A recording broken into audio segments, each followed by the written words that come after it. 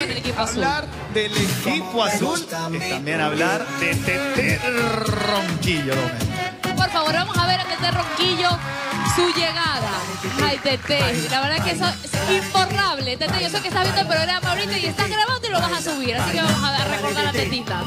Tete, baila como metralleta.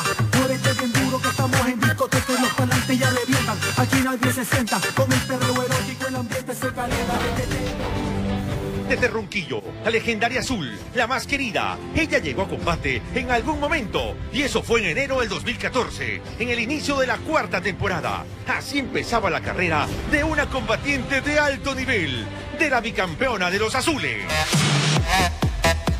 Stephanie Ronquillo, nueva combatiente.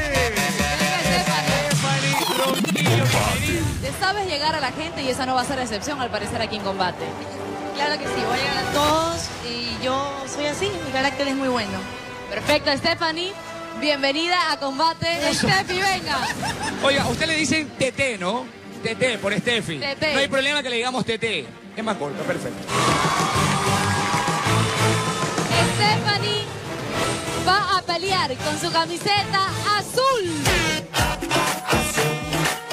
Postulada ya a ser la chica azul de combate, la chica dulce. Vamos a ver si corazón del pollo. Aguanto, no se le pasa una. Y es que mire lo que tengo a mi izquierda.